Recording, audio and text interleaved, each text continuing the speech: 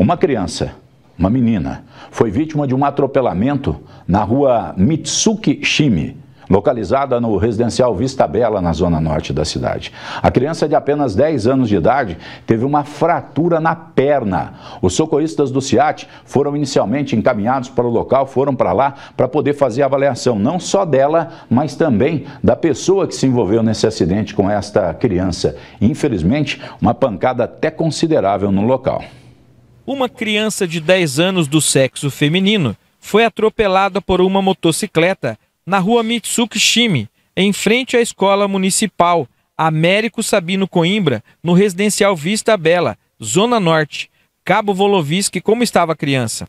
A princípio aí, a que gerou mais importância aí, é essa fratura na perna, a princípio aí completa, em tíbia e fíbula ali, próximo ao tornozelo. Pode ser que seja um tratamento cirúrgico aí, mas agora vai ter que levar para o hospital pronto-socorro ortopédico a olhar essa lesão aí. Mas é, a princípio, crânio, coluna vertebral, tá tudo preservado, consciente orientada, tanto que a gente não colocou na tábua por conta disso. E até mesmo parece que foi de baixo impacto, mas é como a criança ou qualquer ser humano aí não, não, não é capaz de, de, de assegurar ou ter resposta ao impacto, né? Conseguir absorver. É, agora vai ser encaminhado para o hospital. Vou acionar agora a polícia de trânsito aqui até para fazer o boletim de ocorrência por parte do trânsito. E a, mais a parte de acalmar os familiares. Agora, a condutora da motocicleta também ficou ferida aqui, né? Ela não quer atendimento, né? É, eu fiz uma avaliação prévia dela ali, ela só tem uma contusão região ali é, de dorso, mas a princípio região de coluna, crânio está tudo preservado, está deambulando, não tem nenhum sinal de fratura. Ela mesmo recusou o encaminhamento para o hospital. O tio da menina que foi atropelada na frente da escola no residencial Vista Bela, o Douglas, fala com a gente. Ela estava saindo da escola? Não é a primeira vez que acontece acidente aqui já, já é a segunda vez.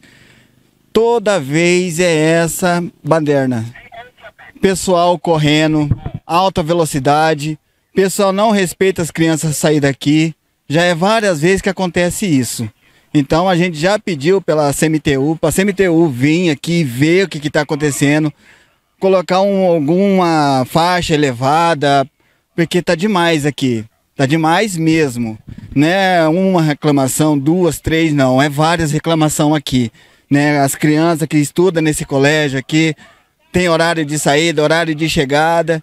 Mãe pai vêm buscar, mas isso aqui tá uma vergonha. Isso aqui é uma vergonha. Aumentou muito o número de pessoas moradores aqui e vai aumentar mais ainda, né? Vai aumentar mais ainda, então, CMTU, por favor, providência, toma providência nesse lugar aqui.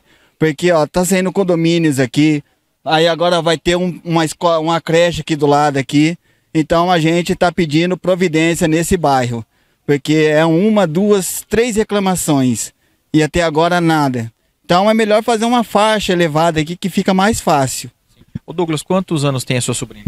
Ela está com sete anos. Estava atravessando a via aqui? Isso, ela estava atravessando, né? Aí ela não viu a moto, aí a, a moça ali também ficou com medo, né? E ela não, não viu a criança e, e atropelou. Inclusive a motociclista está ali para ser atendida também. Isso, ela está ali, ela tá com a, acho que ela está com uma dor na lombar, né? Uma dor muito forte na lombar ali. Eu acho que ela também vai ser atendida pelo, pelo, pelo, pelo pessoal do SAMU aí. Mas agora a gente ficou até feliz, né, de ver sua sobrinha ali dando risada, foi entrar na ambulância, tá ali Conversa. provavelmente com uma suspeita de fratura, mas ah, tá bem, né? Sim, ela tá bem, graças a Deus, né? Nada, nada grave, só uma lesão ali no, no tornozelo ali. Entrou sorrindo, sorridente. Ela é uma criança assim, sorridente. Agora, os professores ajudaram bastante aqui também, né? Sim, ajudaram, é, colocaram os cones, né, sinalizando aqui. Eu quero agradecer os professores que estudam, que dá aula nessa escola, né? É uns professores muito bons, né? Que Deus continue abençoando esses professores, né?